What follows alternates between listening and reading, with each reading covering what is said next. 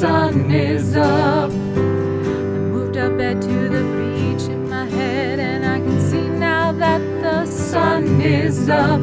Not a cloud in the sky, the wind ripping my. We said aloha, hello, and goodbye. Whatever you do, find the